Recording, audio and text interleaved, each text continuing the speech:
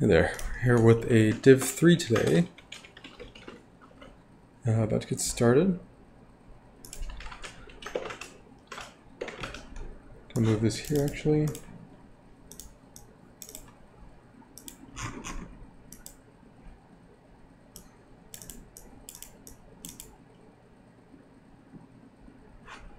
Yeah, percent.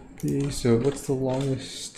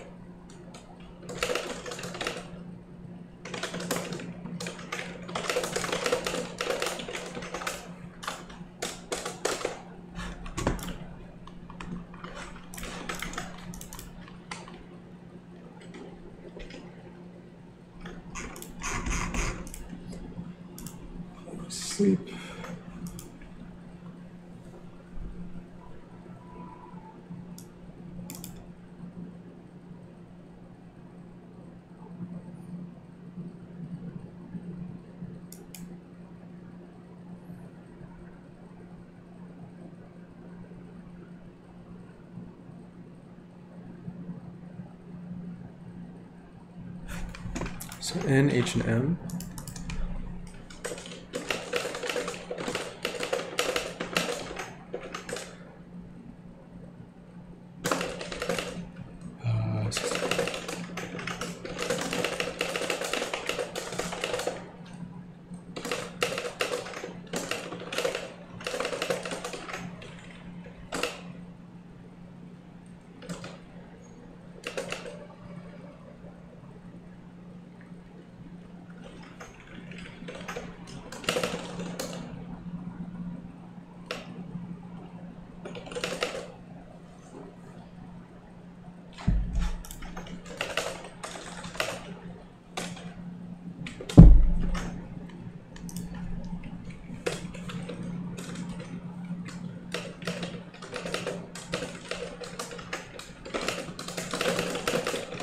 this is what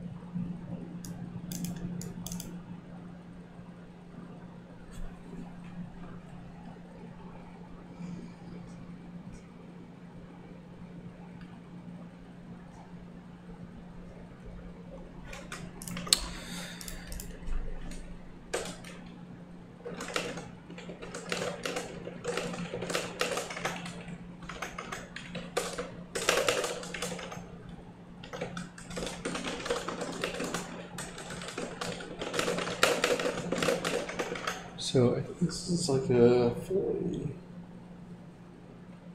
straightforward. Okay, so then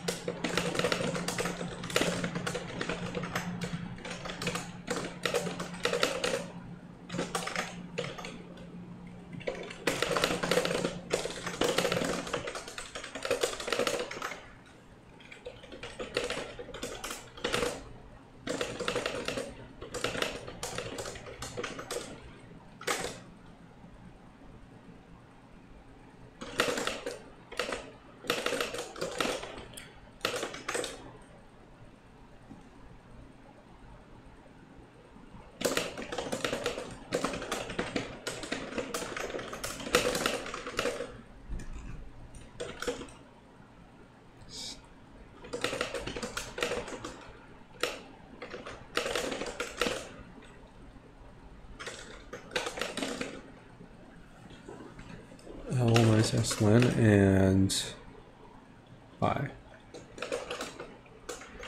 If substring at start, then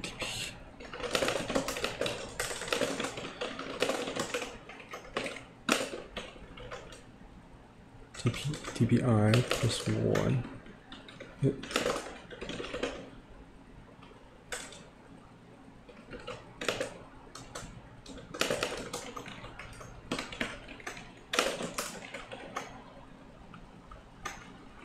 What is it?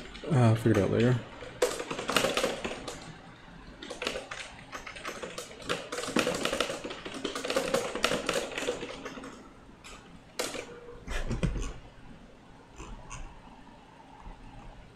Oh.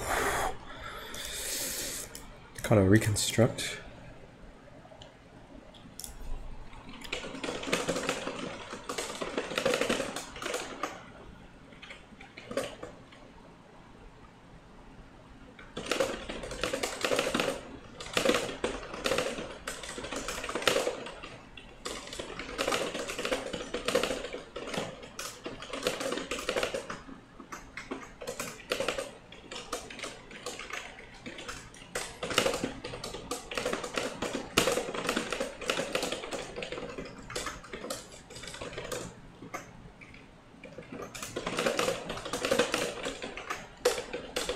Maybe I should do a different problem, but it's too late now.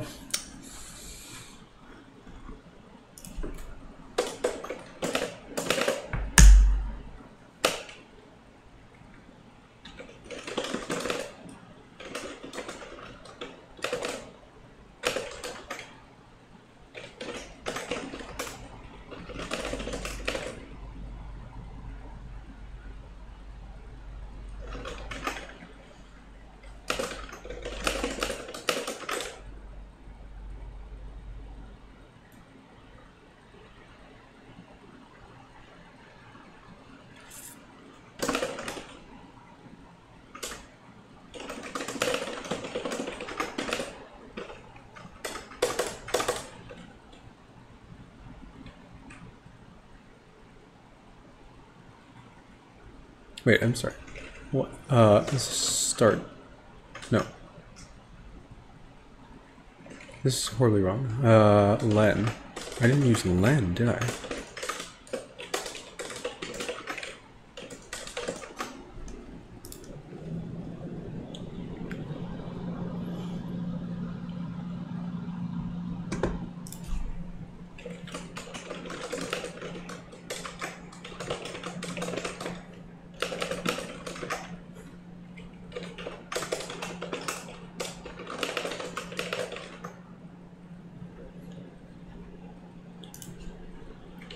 Uh.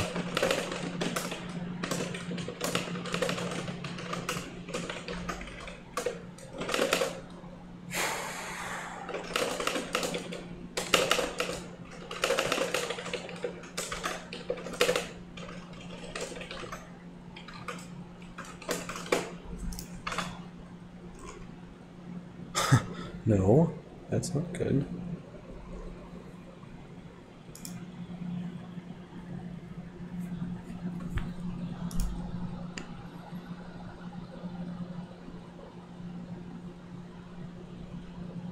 Oh, what is this line?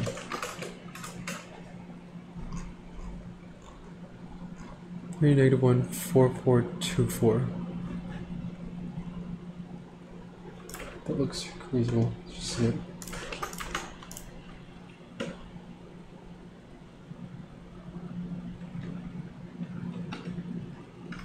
Wait, that took me way too long to construct. History of E.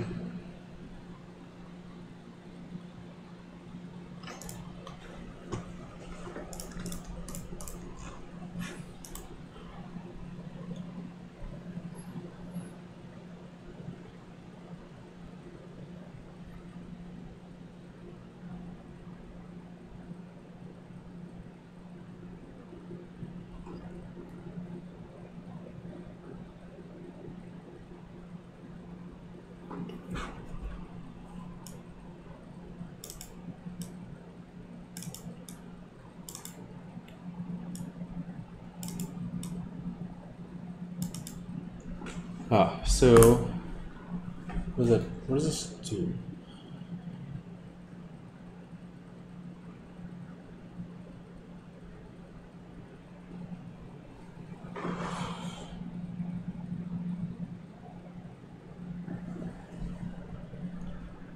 Stays at zero. One goes to two, which goes to four, which goes to eight, which goes to six, which goes to back to two.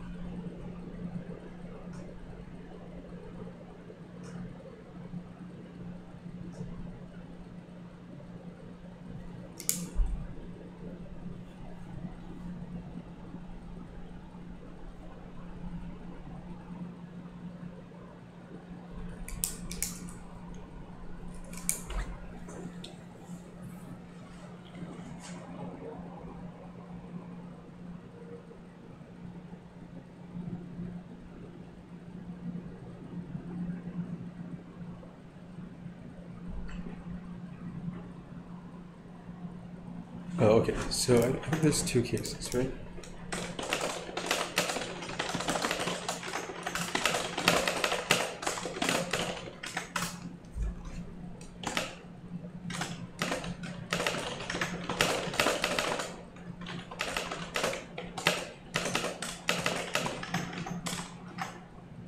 Like it should either be all five or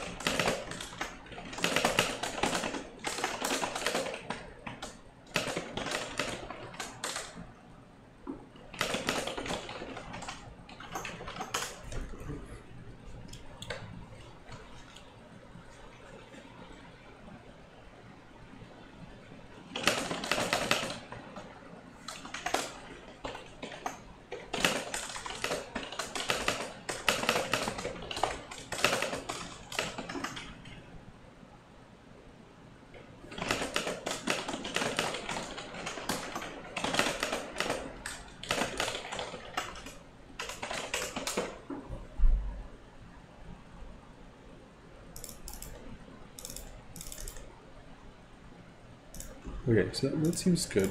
Um, So, so now we're saying they don't have any fives. Now there's one, one, two, three. So yeah,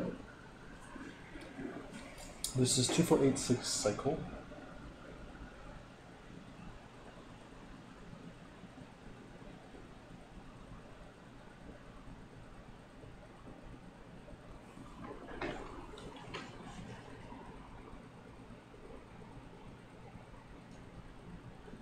So now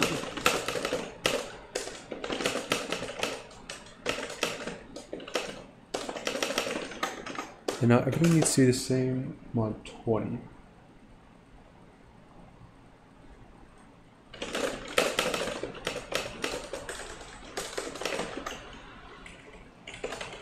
Then you just do this.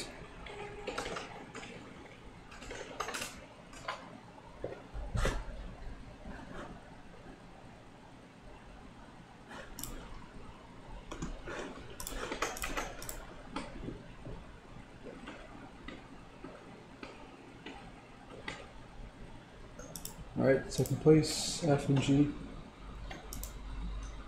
G has a lot of songs. Okay. Second place right now. Let's keep going.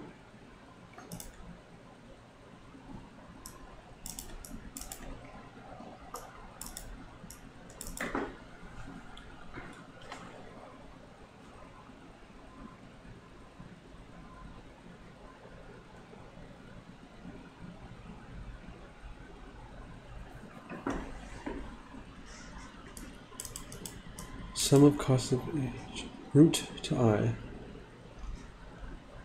Blue is AJ.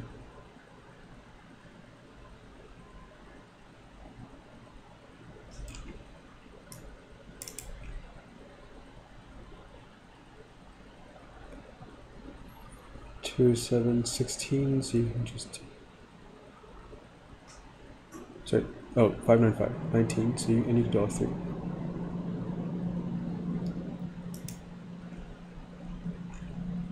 This is super easy. What is this? Oh, we don't have an H.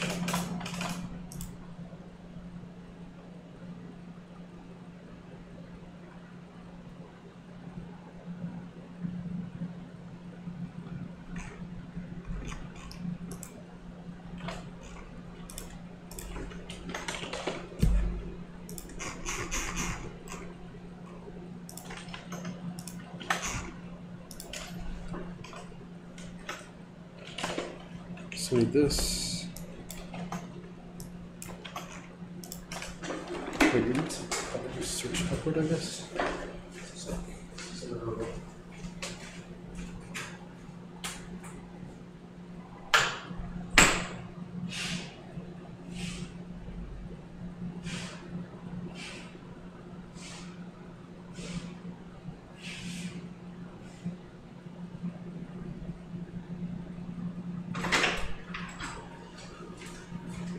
Yeah, I can, I can do block squared. Maybe I will just do block squared. That's probably fine. Okay.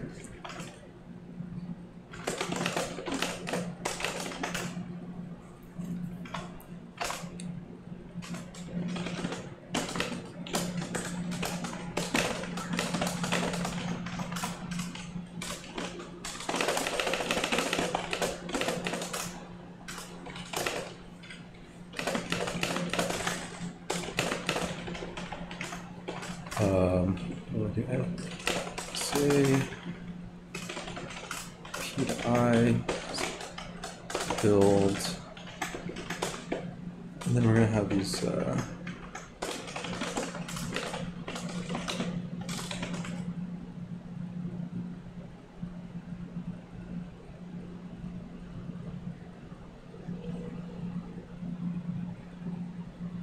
I think we don't even need the originals. So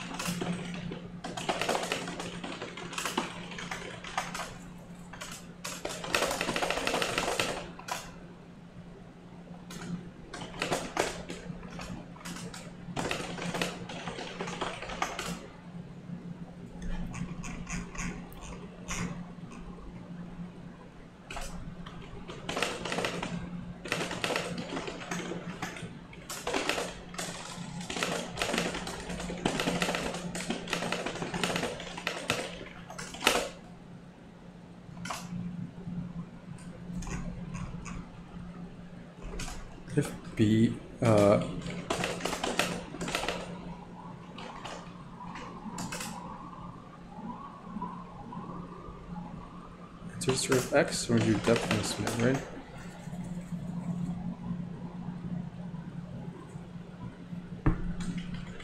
If then this is fine.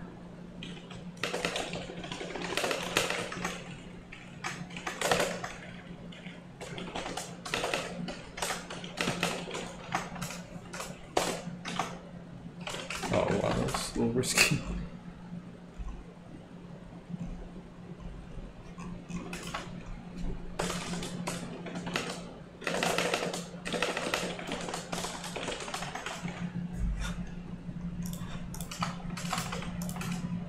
Let's submit.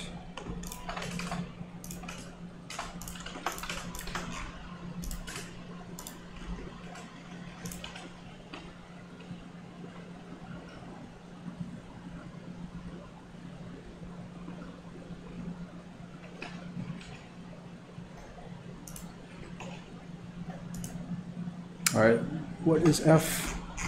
Let's keep going. More problem. Undirected graphical samples. Oh, well, yes, that's what it's treated is. N.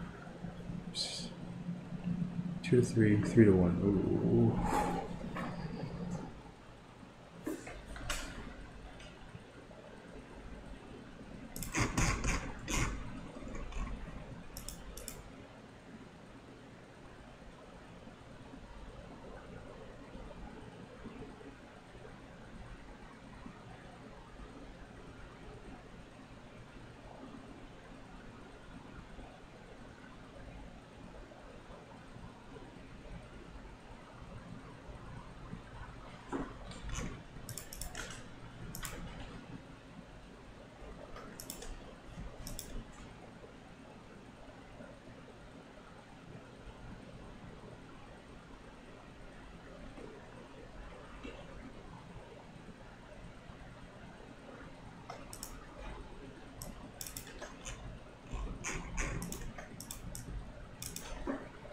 I see. So.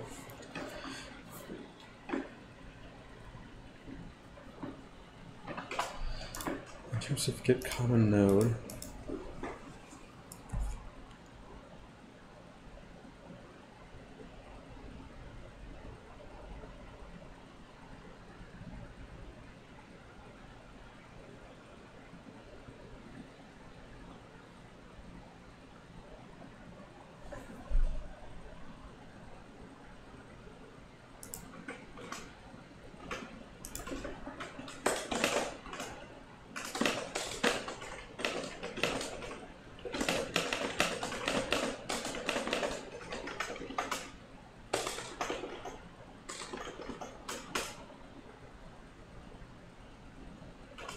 If two of them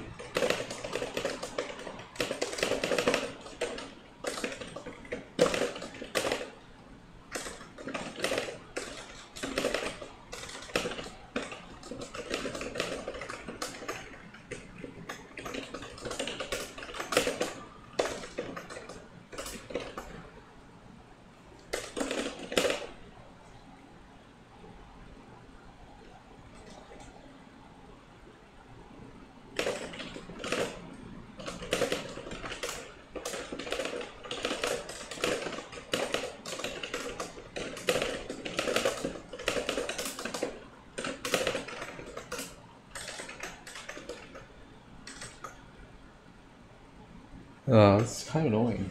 Um,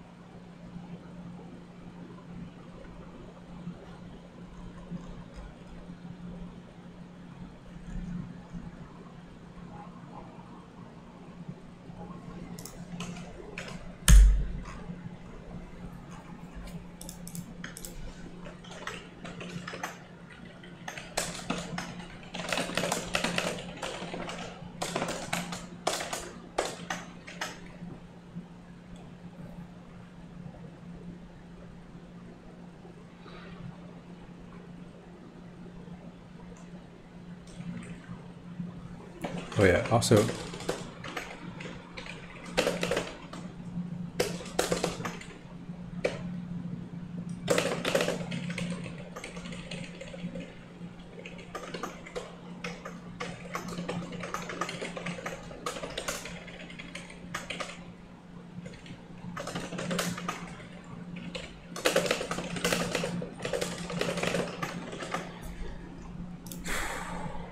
why is it less? I think that means you can do it, and then.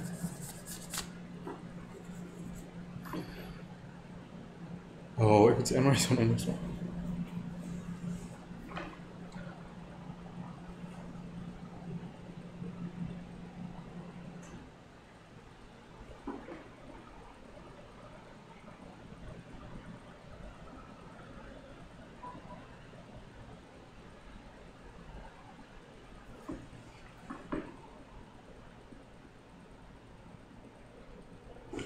So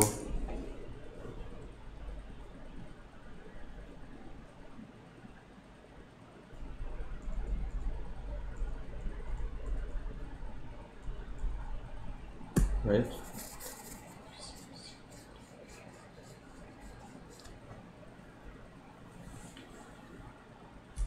Need like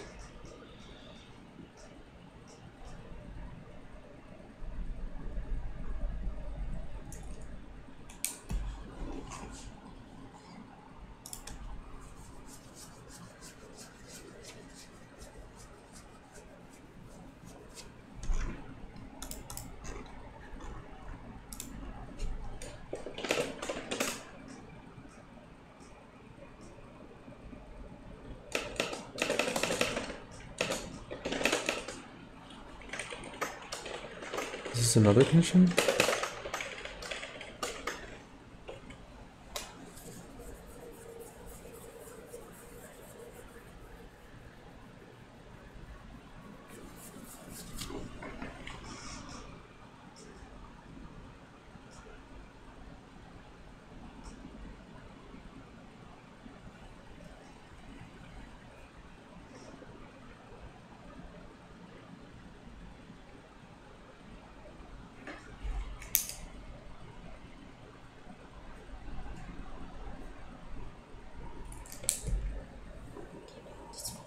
So yeah, so then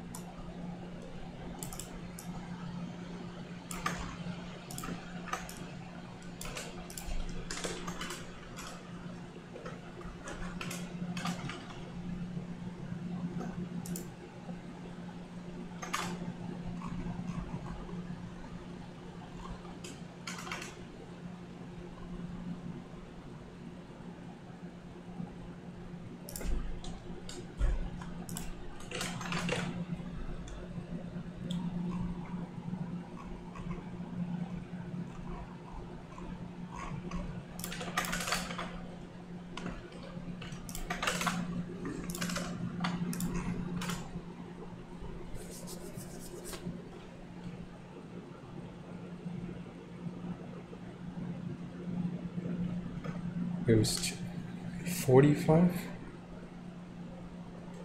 I'm gonna get 98. 35. 35. I'm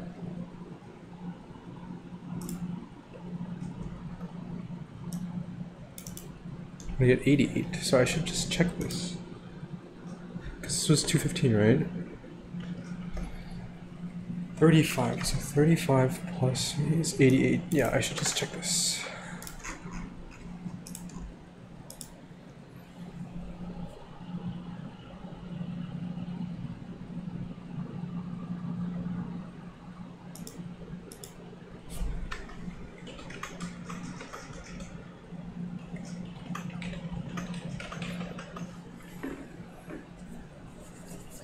Doesn't satisfy satisfy tri- triangle inequality. Yeah, or if it's not even, or if it's too big.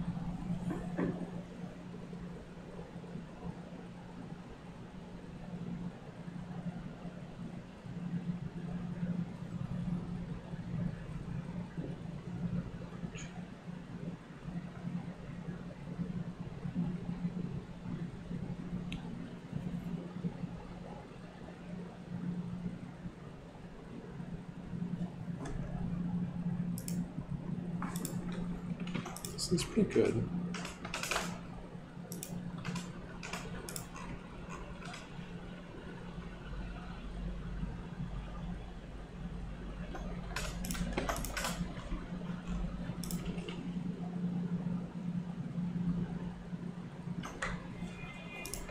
Spin 90.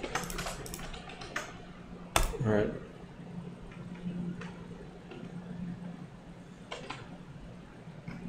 Right, cool.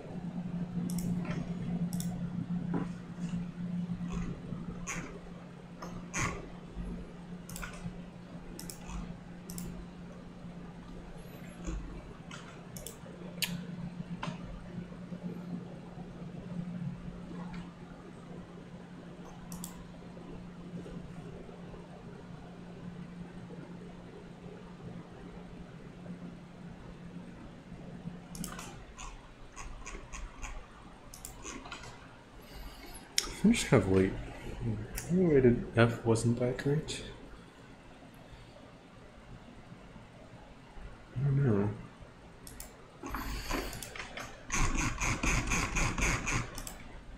Alright, well, looks like a pretty clear second place here. Um, gonna go through and talk about these problems real quick. So, first let's open up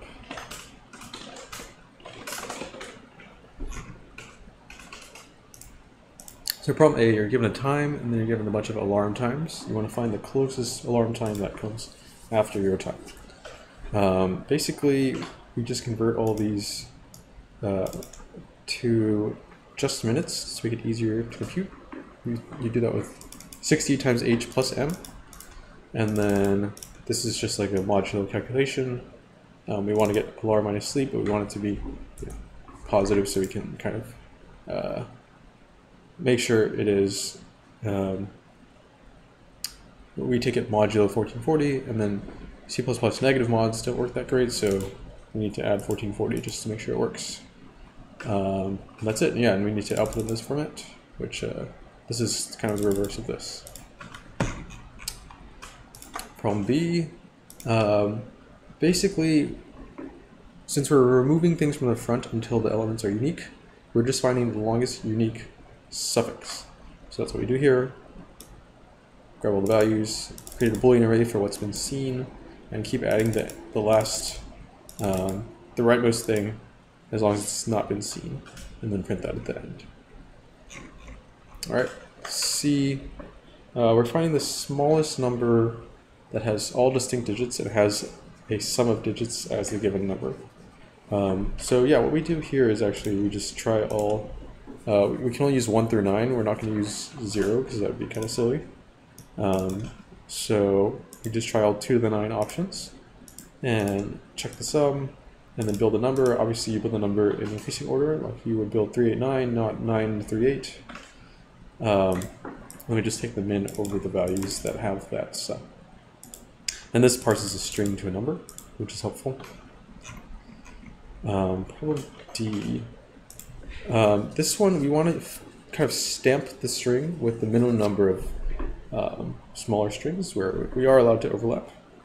Um, I saw this with a DP um, on prefixes. So you want to figure out for each prefix, what is the smallest number of stamps we need to finish the prefix. And then the transitions, basically you start with a prefix, you pick a string, and then you figure out where to put the string. The string needs to overlap with um, your the end of your current prefix. So either it needs to at least uh, it needs to at least add one more character, or it can start uh, as late as right at the end of your prefix. Um, and this is um, um, just tracking to make sure we know where the previous values are so we can reconstruct it, because uh, that's what we do here. And we take the previous values, output them, and then pull back. And oh, one thing I wanted to do was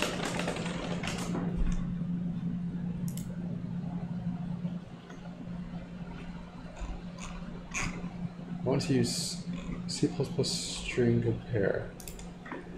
It says so many overloads that I'm always confused how to use it, but I think what we wanted was if t dot, oh, I should save first, actually.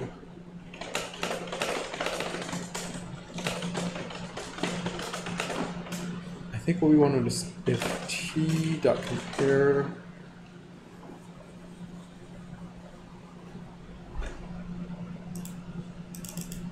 string view like pause count.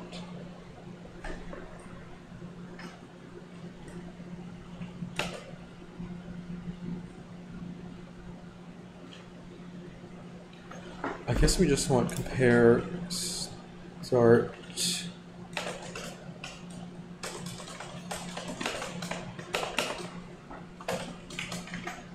Is that what we want?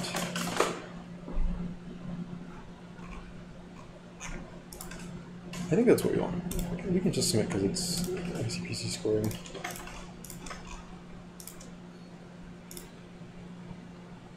Yeah, okay, cool. Um,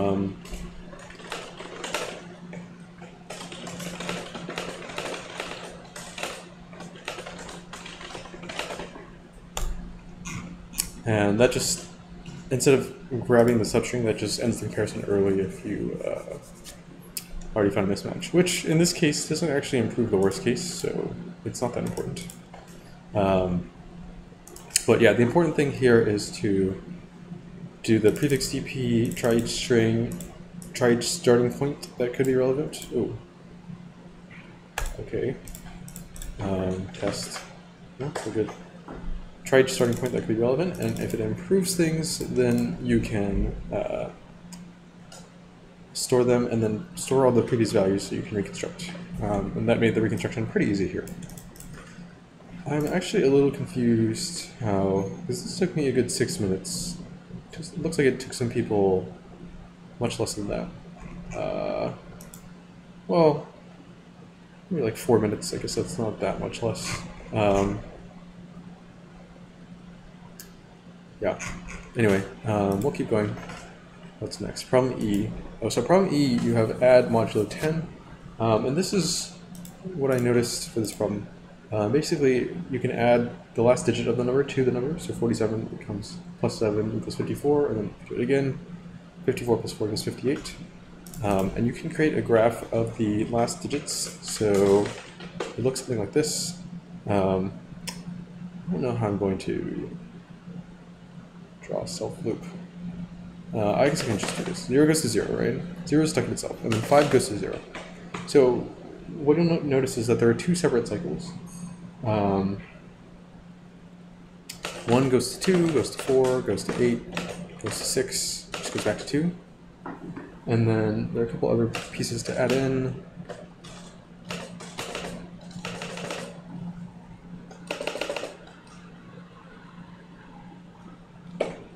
Uh, 7 goes here, 9 goes here, and 3 goes here. So this is a cycle 2, 4, 8, 6, and 1, 3, 7, and 9 point into it. And essentially, um, you cannot uh, cross between these two sections. You have to stay in your section. So the first thing to check is, well, first of all, if we have any fives or zeros, in this case we check that here, if we have any of those, then they all need to be fives or zeros. And the only thing we can do is we can bump up the fives by five, and then we're stuck. So uh, if there are any zeros, then we need to bump up all the fives by five to hit zero, and then we need all the numbers to be the same. Um, so we, what we actually can do is we might as well bump all the fives, because if they're all fives, that's fine. Um, so we just do that, bump all the fives, check if everything is equal. If so, it's yes, otherwise it's no. Um, and that's the has five case. Now we're going to assume we don't have any fives, meaning no fives or zeros. All the numbers we have are in this cycle.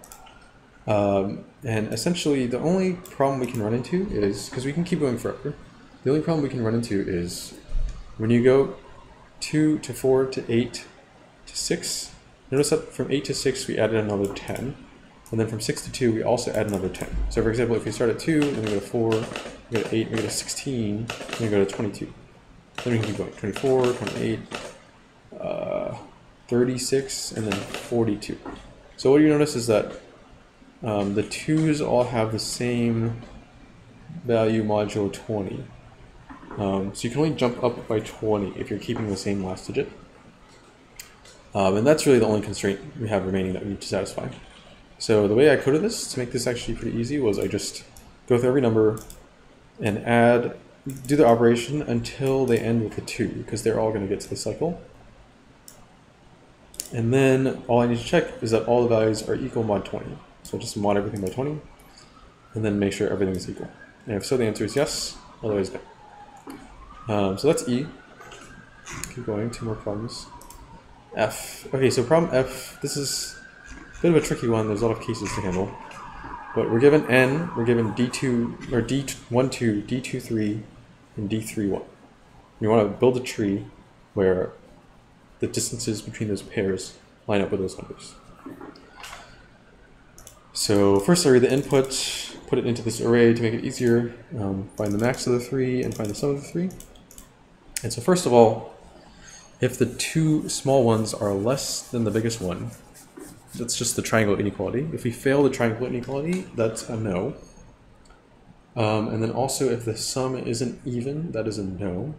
The sum needs to be even because we can go from 0 to 1, go from 1 to 2, go from 2 to 0. And we've sort of retraced our own steps, and that needs to be an even number of steps uh, because, of, because it's a tree, because of parity.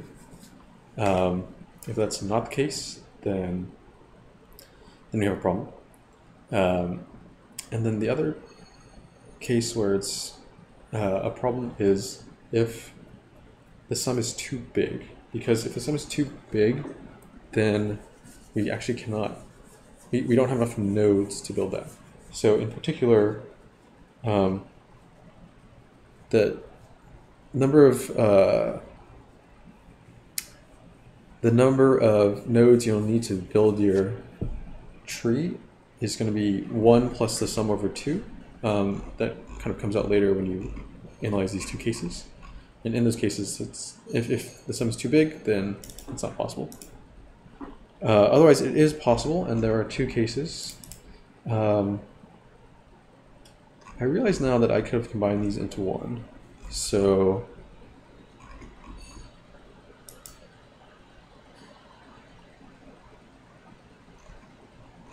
this is interesting. Maybe I can refactor my code this way. Let's see. So let's do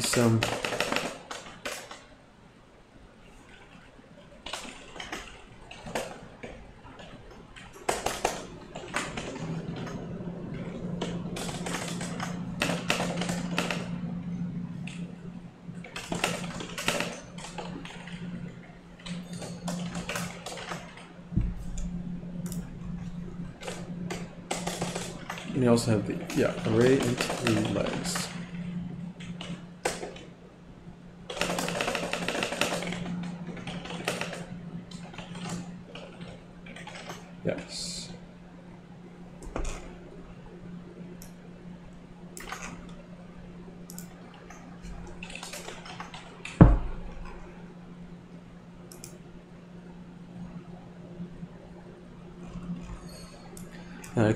regardless of how we do it, we can just build it like this.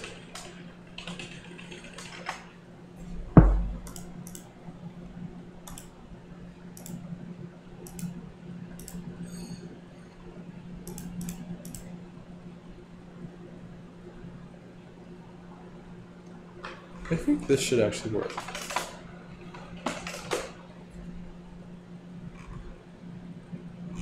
Oh, assertion failed.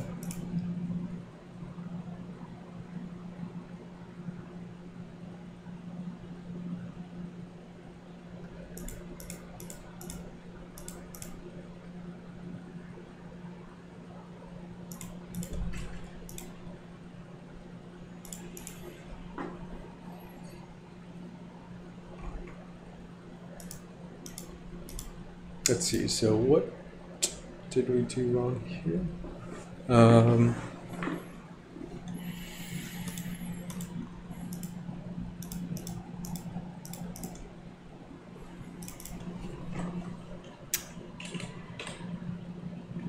oh, if no equals center, continue. That's what it is. Okay, so.